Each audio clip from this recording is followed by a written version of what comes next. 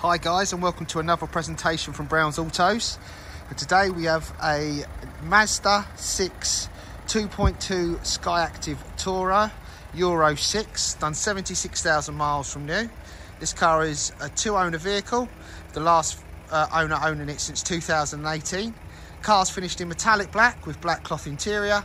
It comes with full up-to-date service history, having eight services, with the first four being at Mazda main agent.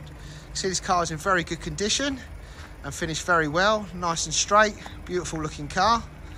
Car will be serviced before it uh, leaves us, so it's going to be freshly serviced before it goes.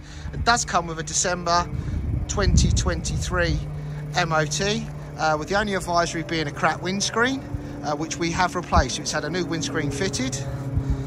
As you walk around the vehicle, you can see it's nice and straight. I will take you a bit closer. The light is not very good today.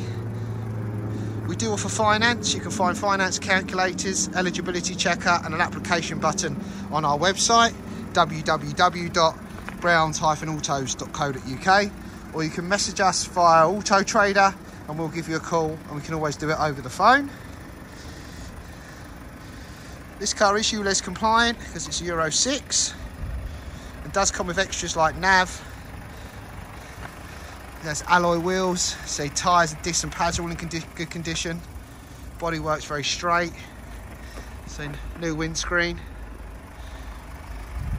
Take you down this side. Again, tyres, and pads and alloy all good. New tyre at the rear. Bumper corners good. Rear sensors. Rear tinted windows.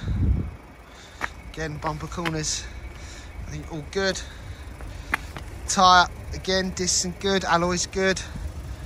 Newish tyre on there, and another newish tyre on the front.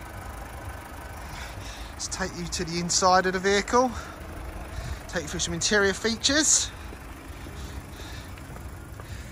We do offer warranty of all our cars. This car will come with a six months warranty included. Right, just turn the multifunction steering wheel, so we turn that down. So we've got four electric windows, electric adjustable mirrors, central locking, parking sensors, run flat, stop start, say black cloth if we zoom it out. No major wear on the seats, manual seats,